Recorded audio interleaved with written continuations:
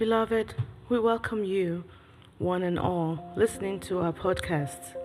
My name is Pastor Joyce, and this is I Am Ministries, aka Glory International Christian Center. Welcome again to our podcast. Our prayer is that as you listen to our messages, your lives will be changed and transformed for good. The Word of God will be delivered in simplicity, and as the Word goes forth, our hope is that you receive total healing in all areas of your lives. Praise you, mighty God. Turn me to um, Luke in chapter 15, the Gospel of Luke.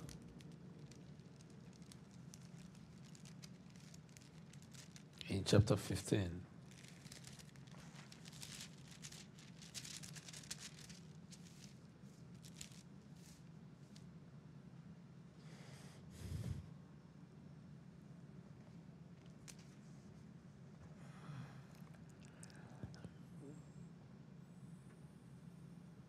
Talking tonight as we read from, let's start from verse 11. You know the story of the prodigal son. We're talking of corresponding actions from decisions.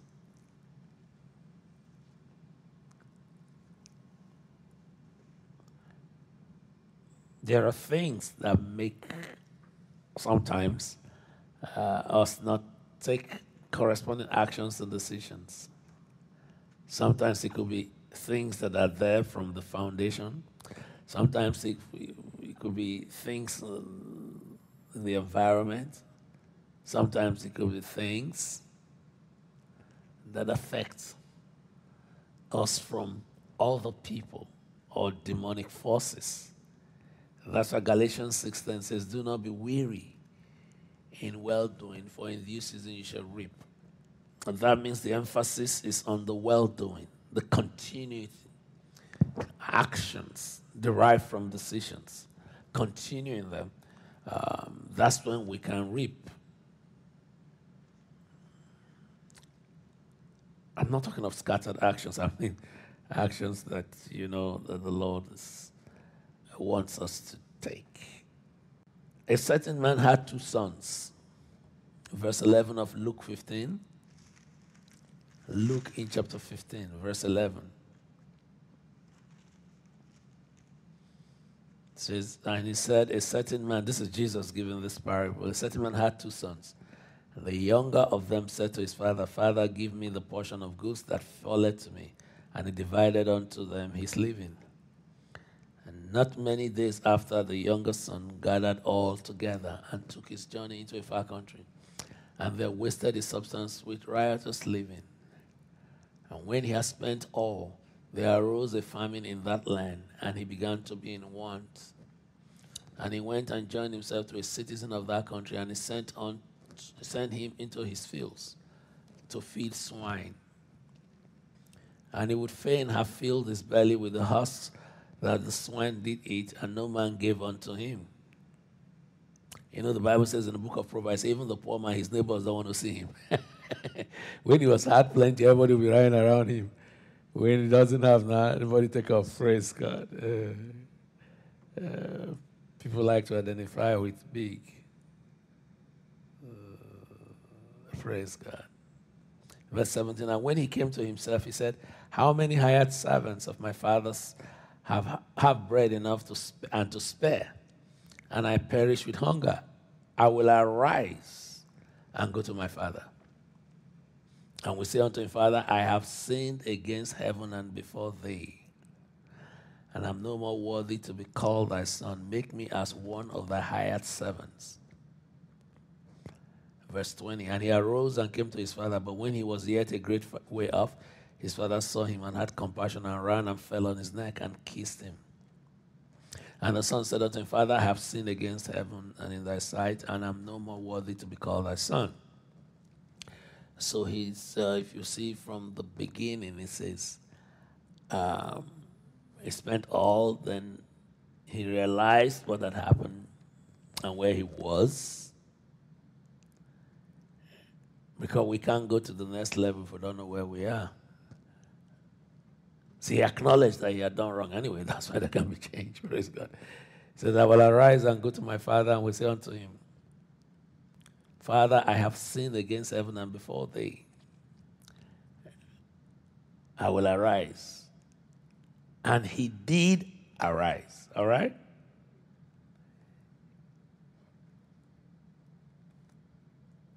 So he arose and made a move in the direction of his thought and decisions to arise. There are many reasons there. First of all, you know, one thing is to be rich, to be to go down from nothing. It reduces below, even below the person who had something who didn't have at all before to start with, because uh, you've tasted of the of the wealth. To come down is quite uh, terrible.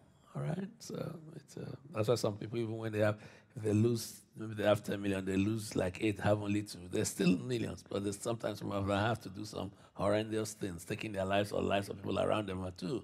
You know, praise God.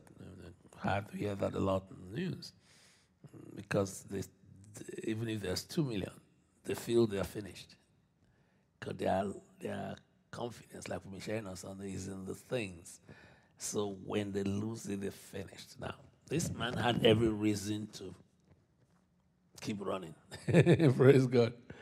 Uh, do everything to get away from uh, acknowledging that he, he did wrong, because that's where that will lead to the change. But he thought. So if he didn't arise, no matter how much he meant it, no matter how much he said it or even thought of it, he would not have encountered mercy, grace, and restoration. Now, if you read in verse, we're still in Luke 15, verse 22. But the father said to his servant, Bring forth the best robe and put it on me, on him, and put a ring his, on his finger and shoes on his feet. The ring reestablishes the deal. You get it?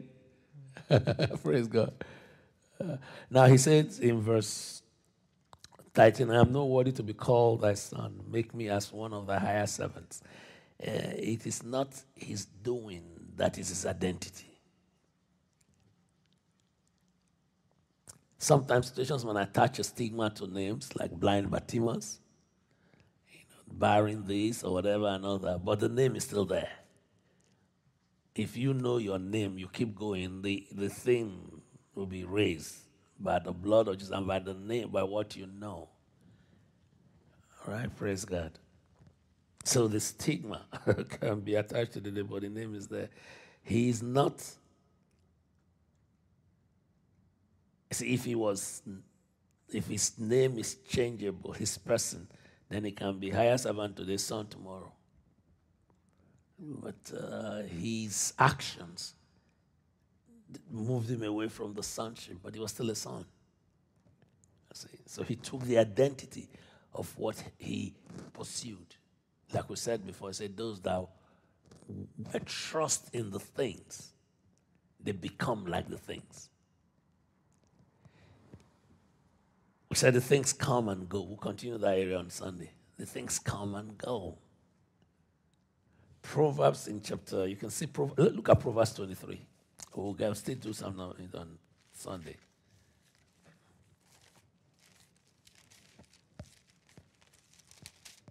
Proverbs 23, verse 5. Say, without set thy eyes upon that which is not, for riches certainly make themselves wings. They fly away as an eagle towards heaven. which means it can disappear. We hear things happening on the news. We'll get to that on Sunday. Yeah. It can disappear anytime. But ours will not be disappearing anyhow because the devourer is already rebuked for our sake. All right? So stay anchored in Him. Let your trust and confidence be in Him, not in what you're keeping or what you're not keeping. All right? Praise God. Mm-hmm. Amen. Now, verse 23, and say, Bring me hither the fatted calf and kill it, and let us eat and be merry. So for this my son was dead and is alive again. He was lost and is found. And they began to be merry. Praise God. For this my son was then in verse 25. Now his eldest son was in the field, and he came and drew nigh to the house. He heard music dancing, and music and dancing. And he called one of the servants and asked what these things meant.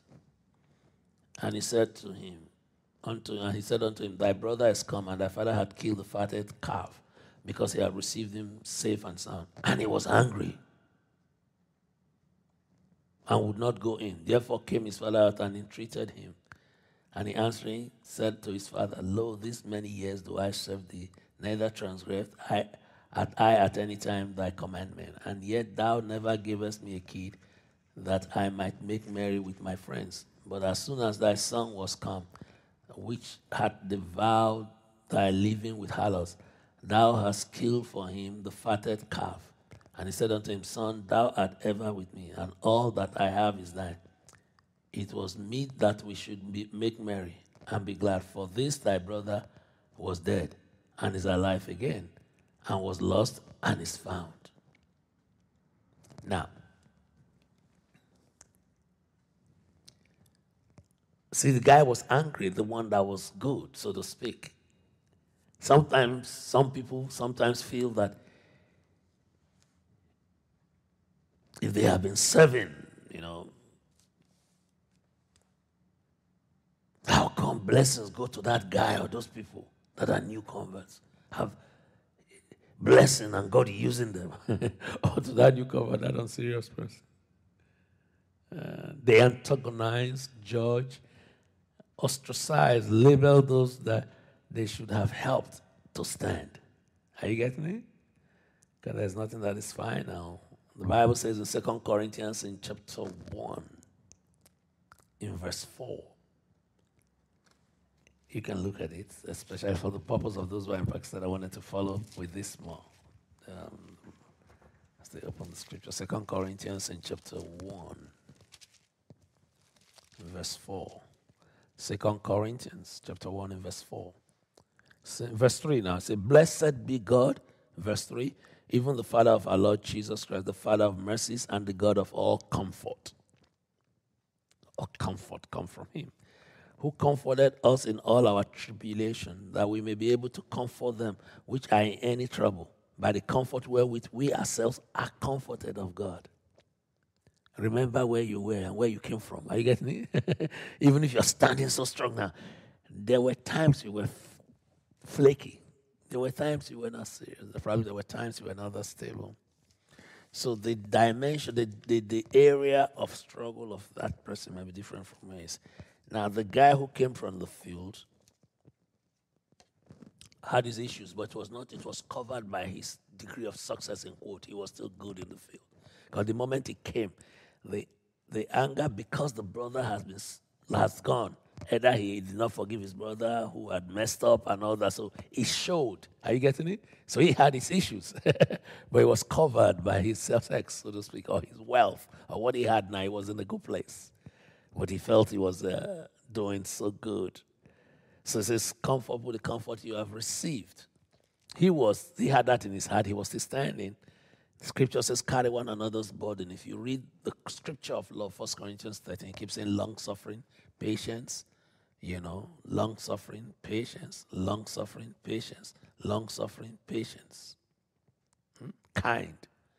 You know, so we go towards it. There's no way, if you get to that point where you don't realize where you were, are you getting it?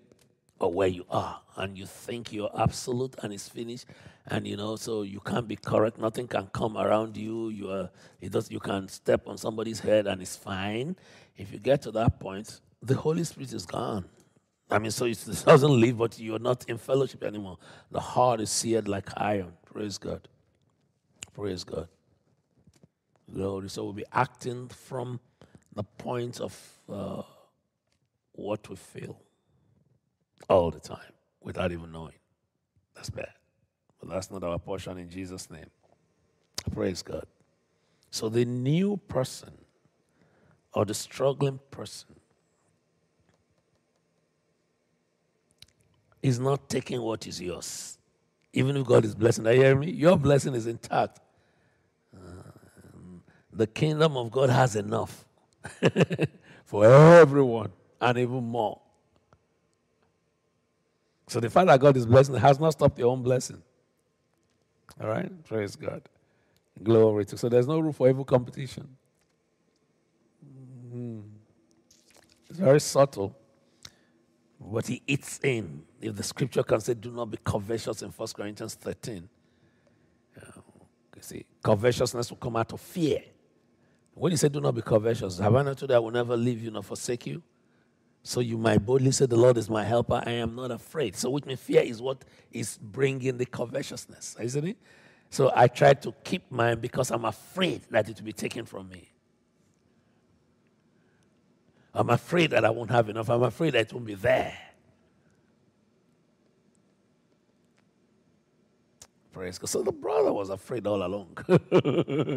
this guy has come back now. Come back, they just forgive him. He might come in to take what is mine. The father said, No, no, no, all that is yours. Nobody's taking it. The point is, but you cannot take his sonship from him. Glory to God. And in that sonship, every other thing comes. They divided what they had. How about all the other things coming? Praise God. So you still had room to get more things. So stop fighting for what you want to keep or don't keep. Nobody's taking from you. Nobody's struggling with you. Hearing me? It's fear that brings all those things. Praise God. Fear of not having or fear of losing or not having enough. So if you realize where you are, where you're coming from, if there has been that fear of insecurity or not having enough, uh, you got to deal with it. All right? Praise God. Because it will keep coming, no matter what it is no matter how much you have acquired or how much you're acquiring, you might end up even just blowing the thing instead of because you want to maintain that fact that you have enough. Praise God. Look at verse 18. It says, I will arise and go to my father. He could have stayed with guilt now. He could have stayed with self pity depression, beating himself up and not move on with the thought of arising. says, I will, so I choose to arise, isn't it? So he thought about it before making the move to go.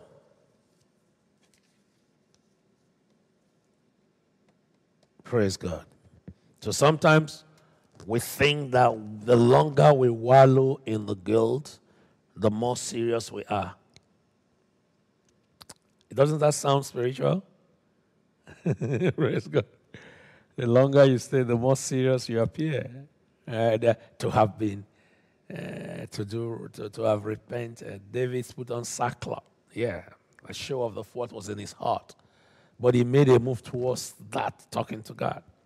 He didn't remain there beating himself and stay there. He pursued God. When we pursue God, we're no longer beating ourselves. Praise God. A retained consciousness of guilt is self righteousness, self worship, and pride. You hear that? A retained consciousness of guilt is self righteousness. Because the righteousness of God says, if you confess your sins, He's faithful and just to forgive you and cleanse you of all unrighteousness. So now, and cleanse you. So there's no room for you going back, you know. So, but you have a goal to continue doing the right. That's the key. That was said here all the time. So true sorrow always moves us to change.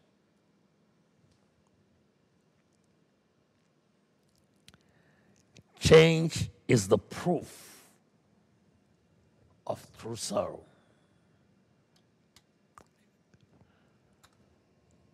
They'll think about it, you take actions, and you change.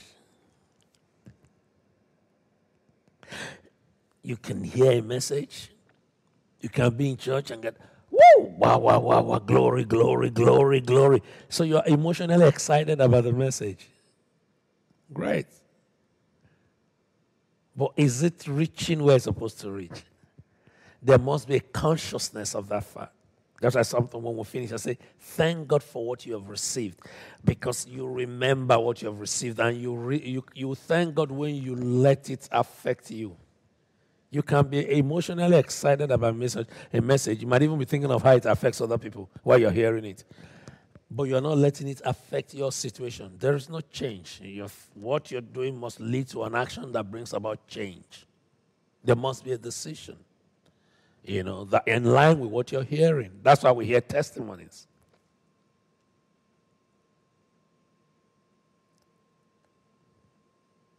Because there's a cross reference of what you hear as truth to defeat any other thing you have known or been doing that is a lie. That's why the Bible talks about casting down imaginations. How do you know what to cast down if you don't know what is real or true?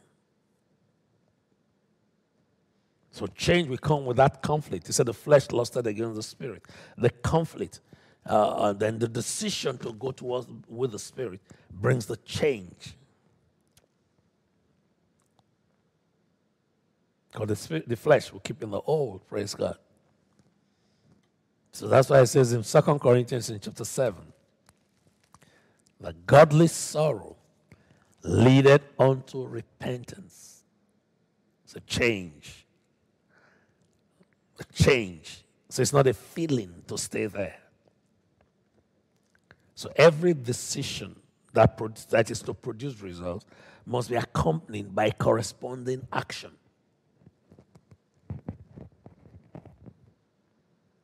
I will arise and go. He went.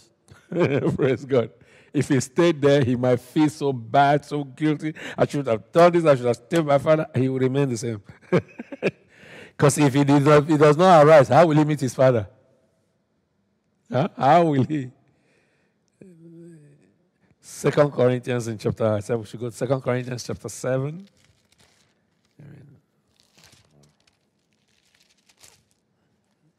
Amen. Praise God. Chapter 7.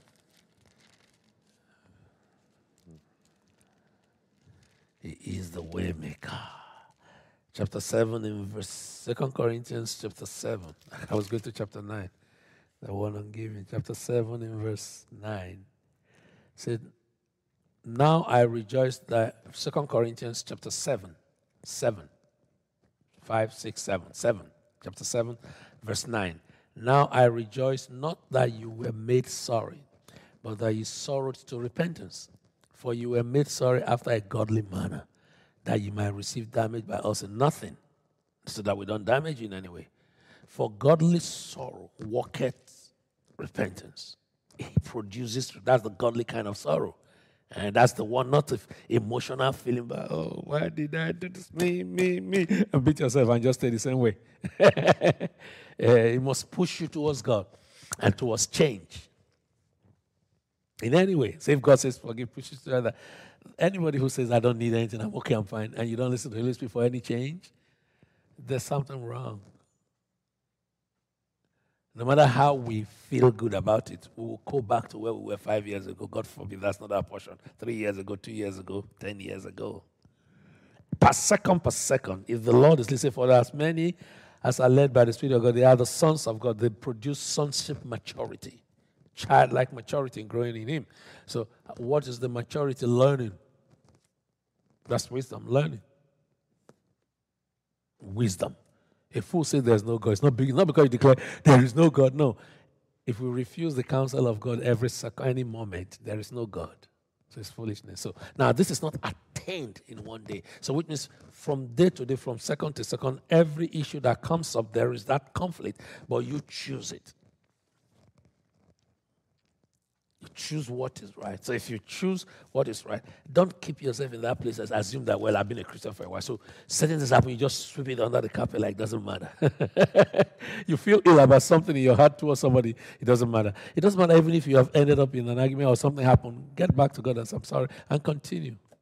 If you lock it and lock it and lock, there are seeds. You know, it will relate in other people, it will come in other places.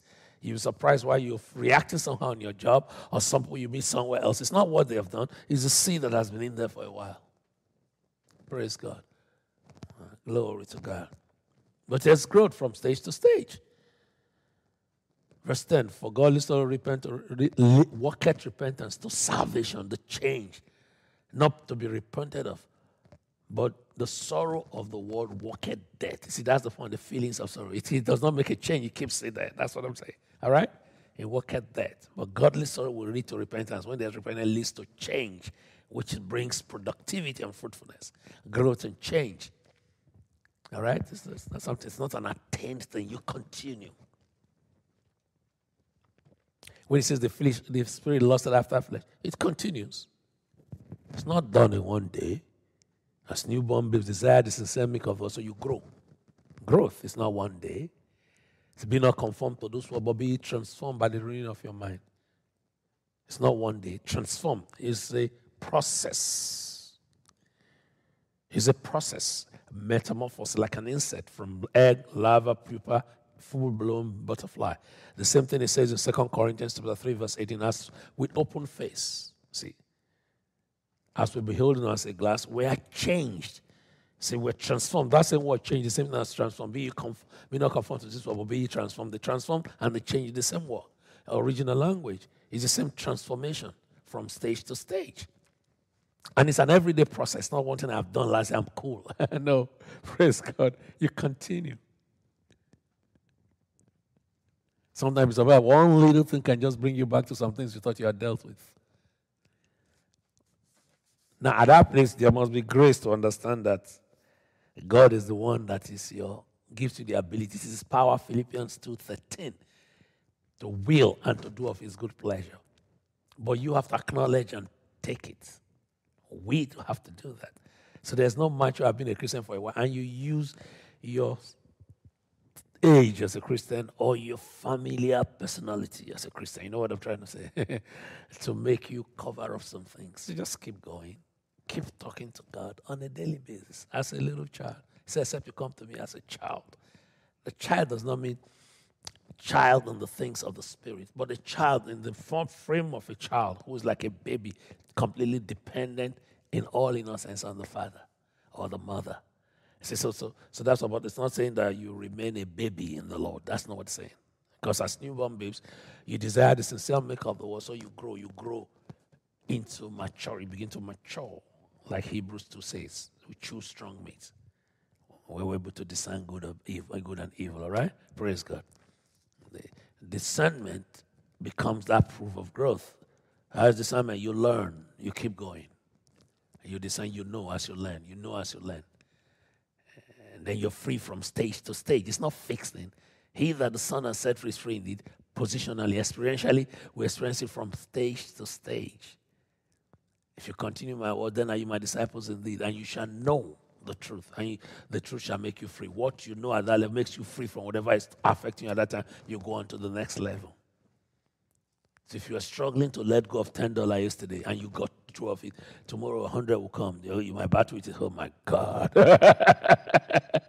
so so you get to if you go beyond very soon you're like giving out thousands, you don't give you don't care. Praise God. Now this thousand you might get a million, give her one thousand. That's not what I'm saying. I mean when you give her that the one that really squeezes you. praise God. praise God. So very soon you're not calculating 10 or 15, but you're saying like, hey, this is what I do. You know, there are people in the kingdom who give 60, 70, 80, 90%, and they have not, they're not poor. So praise God. Glory to God. So there, there, are certain things you go off. You forgive one thing. Suddenly, that conference I went to, I remember I told you guys some years back, the lady had, came to the altar and said, Excuse me, sir. You know, while we're ministering, and said, What if there are many people? I said, Like how many? He said, 250. That's okay. I say, The same grace that helps in one person will help you in 250 people. She didn't know about forgiveness. So she was just piling on you for you do wrong, forget them. I just keep add more and more. Amen. Praise God. Uh, we hear testimonies of changes that come because of people's decision. See, like the little girl, there was no, see, the word comes, different things come. Sometimes we bind and loose. Sometimes the word just comes very straight and you take it, you just, because the, Lord, the, the word brings light, it drives away darkness. Like the woman they told, I was with Pastor Simon to receive the baptism of the Holy Spirit. She just kept quiet. And I turned around by the Spirit and said, they sold you not to say Jesus is Lord. She nodded. I just stepped back and said, Lord, what do we do? She said, pray in the Holy Ghost. I prayed within five minutes. And I said, In the name of Jesus. She just fell under power and started speaking in tongues. Because that's what we're ministering to about the Holy Spirit. So whatever blocked her, let go. Yeah, you understand? Praise God. Glory to God.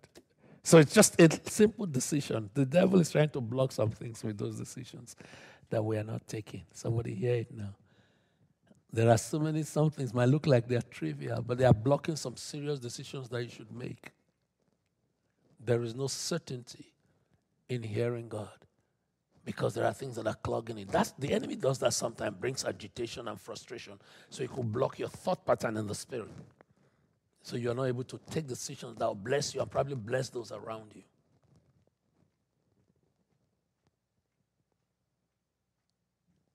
I told you some years ago, a long time ago, we were meeting in the husband.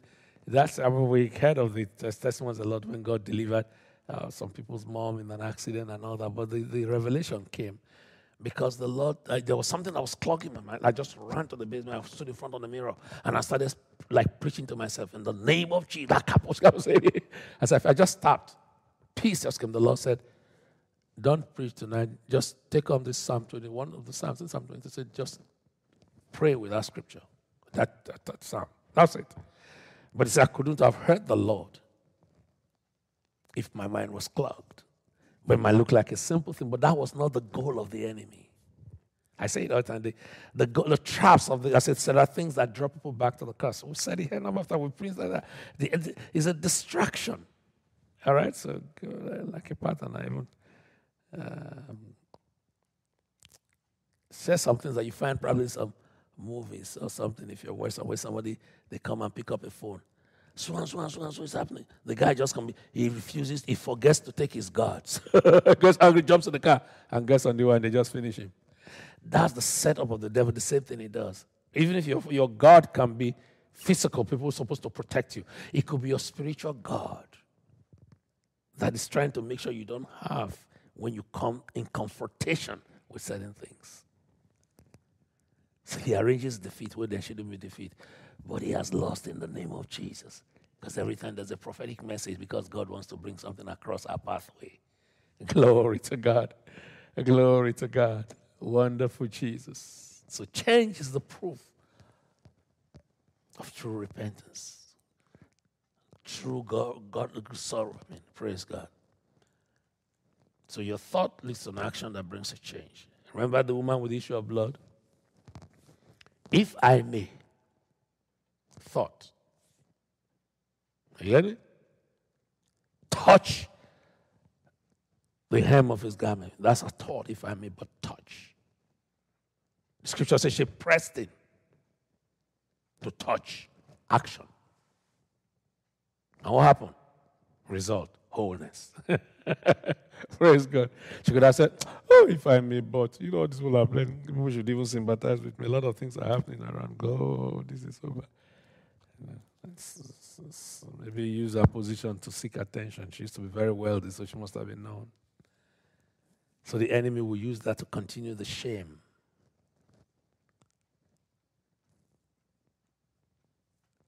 She did not allow the environment to keep her. See, notice I said, fear limits. When faith, not just because I'm quoting my scripture, I mean, when you make a direction towards God, no matter what is holding you back, that's, a, that's faith.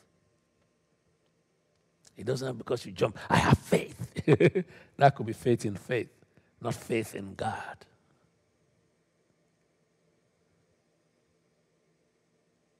True change comes because of faith. Godly sorrow, faith. Because you're pressing it towards God no matter what has been the limitation.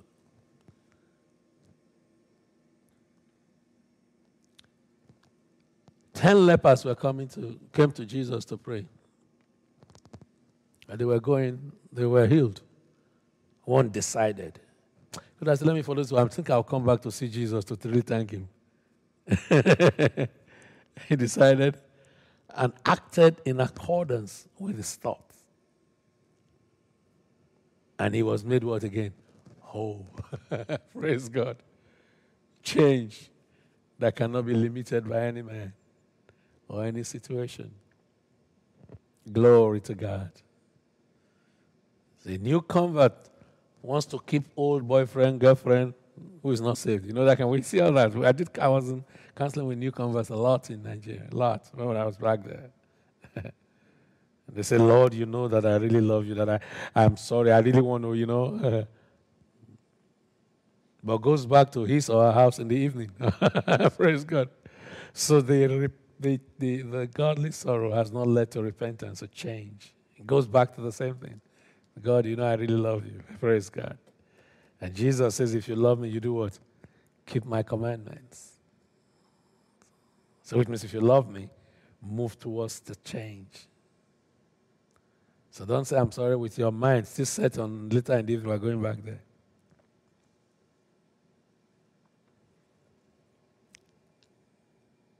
Isaiah 16, verse 1.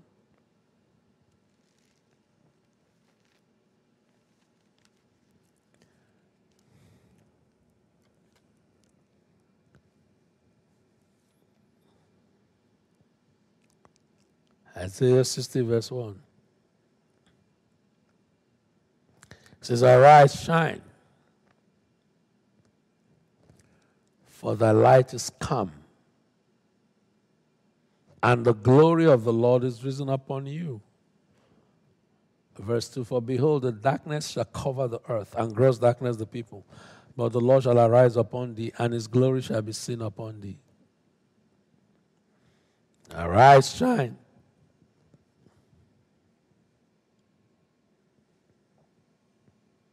The Lord says, Arise and then shine.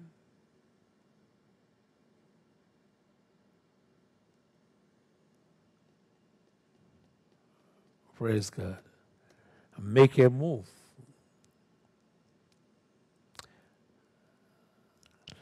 The prodigal son arose and moved towards mercy. If he did not get to his father, he would not see the result of his going, the mercy. You understand me? So if we don't make a move to go, we will not see the result of change. So if we allow what is happening to make us think that's the way it's going to be continuously. So let us therefore come boldly unto the throne of grace in Hebrews 4:16. Hebrews 4 and 16. That we might obtain mercy. We come before we can obtain the mercy. And find grace to help in time of need. We can't find grace if we don't obtain mercy. We can't obtain mercy if we don't come to the throne of grace where He is. So the change will come only when we make move towards the change. Don't cover it with your Christianity, so to speak. Because you blast in many tongues, all right? Praise God. Glory to God. It says, For behold, the darkness shall cover the earth, and gross darkness the people in verse 2. But the Lord shall arise upon thee, and his glory shall be seen upon thee. So the darkness and the gross darkness is intended to limit arising. So the problem in the world, the situations around, the oppositions and antagonisms and agitations of wickedness are supposed to press us down from moving up. Every move you want to make, they press down. God is the only one that can make the change. Sometimes it's not easy. Sometimes you don't have control over other people's actions around you.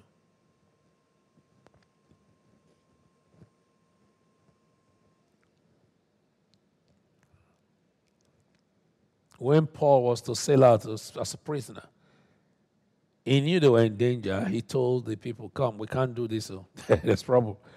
And he said, No, no, no, no. The expert has spoken. the expert has spoken. So they went. Trouble came. It was intended to clip them. If the sea did not, if the storm did not destroy them, they were supposed to have been shot dead, okay, whatever. They were, supposed to have been killed, every one of them. Every one of them. Because they were, and no prisoner is allowed to escape if they are to escape, because they will be a danger to the environment. If the sea does not kill them, there's a collapse and they cannot do it, they will kill all of them in order to contain them, so to speak. So, but the, the, the, the, captain said, No, no, no, leave these guys. Don't do that. The grace upon Paul. Are you getting it? Say that. They say, That's why he spoke. He said nothing with. He said, All him and all that sail with him. it's a grace upon him. It was Paul they were looking at. So leave them alone. So nothing could stop them. So even when it's decisions of other people, Paul still stayed with God. He spent time he went away. Having spent time with the Lord, the Bible says the angel of the Lord appeared after much abstinence, appeared unto him. And then he spoke that you will appear unto Caesar. So not even the serpent or anything could stop that move. Because the word of God saved. He said he sent his word and he saved them.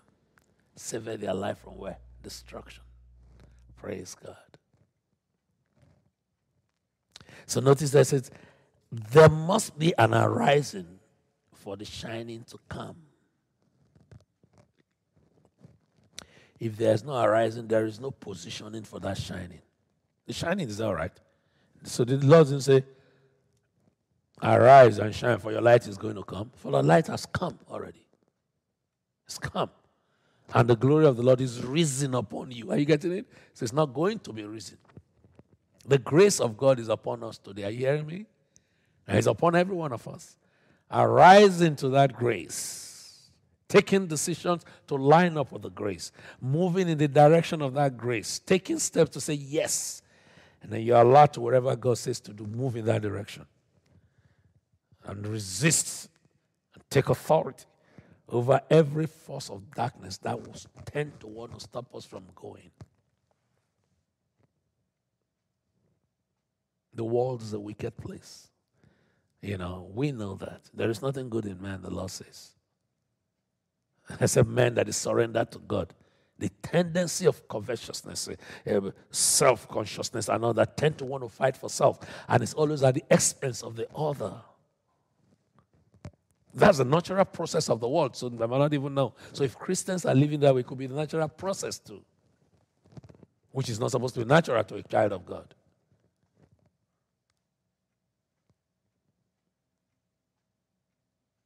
That's why it says, be careful in that same Galatians chapter 5. He said, stop biting one another. Be careful that you're not consumed of one another. so when it's flesh, then you consume one another. That's what it says. It's for the flesh to lust against the spirit. Praise God. We will not be consumed in Jesus' name. Somebody hear me? Praise God. Now, you see, so so they, they, there must be an arising, a move, a move towards what is spoken a move towards the Word of God, a move towards what you have received, a move towards whatever God is saying right now. Praise God. A move towards God Almighty.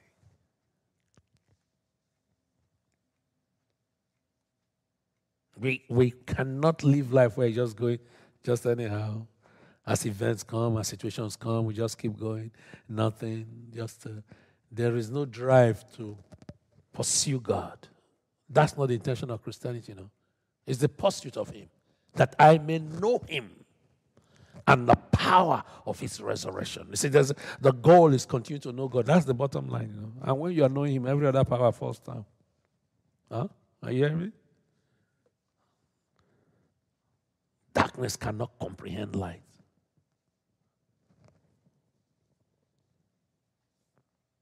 The devourer is rebuked for your sake. So he says, the darkness, the system of the world might be in operation, like we're hearing all of fears of the world there. The world, I said it the other time we started this series of messages on 115, we're going to continue on Sunday again. The world is not even taking into cognizance the changes in situations. no, we should just continue. Even all the arrest of the pandemic, people stayed in house. After they started coming, I was like, let's go back to where we're coming from. Just like the, so you see, things can bring an awareness. But the only thing that can change is the word of God. You know that? Yeah. Say, by grace are you saved. We tap into that grace and get saved. No man can change himself, and no man can continue to change himself. If you are not, you can see then that you have not opened the Bible for three days, five days, one week, one month, some six months, some one year. So it becomes a sound association instead of flowing with God. If you have not, go back to it today. You hear me, somebody? Go back to it. Oh. Praise God. Glory to God. It says, For behold, darkness in verse 2 shall cover the earth, Isaiah 60. And gross darkness, but the Lord shall arise upon thee, and his glory shall be seen upon thee. The Lord shall arise now. It's coming up. Now it says, Upon thee. It is the shining in verse 3 now, and the Gentiles shall come to thy light, and kings to the brightness of your rising. When you say the Lord shall arise, it's like sun, it radiates, shooting out beams. Hallelujah, glory to God.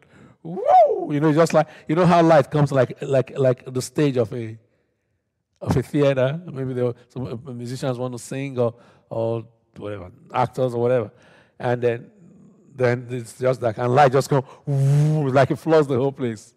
Praise God. Hey, you become conspicuously favored.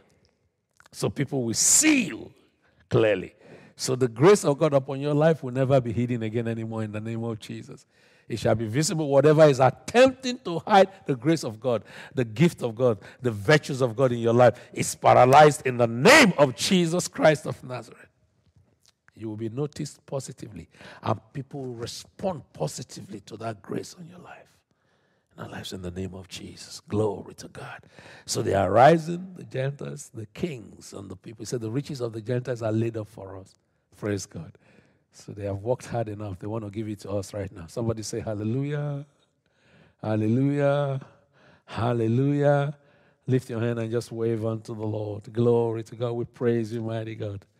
Make moves for this change. Somebody, wherever you are the ideas that are in your heart, as long as you know you're flowing with God. I'm not talking of ideas of panic, you just hear something, just react. I'm not talking of that. I'm talking of you can hear things that can bless you. That's not bad. You can see things on TV that can bless you. You can see things on the internet, but you don't just get not the reaction of responding by fear or by what you just said. You know, this is coming, everybody's doing this. Oh, no, no, no.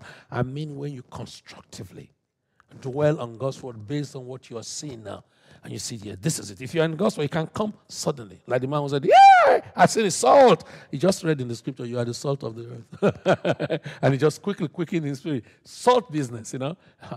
But he has been spending time in the word. That's why I say it was reading day and night. Comes into the church premises, sits down there and reads all the because he was just delivered from the powers of darkness in the meeting, one of the services, and started coming to church. Told the pastor, what do I do? The pastor said, read your Bible. He said, okay. so I come to every day, just comes and reads Bible from beginning to closes like that was his job. You know, anxiety and panic make you feel like you're not doing anything. You know that? That's the world's idea of success. But he stayed with God. And then God broke through. Praise God. Sometimes people don't allow that to happen.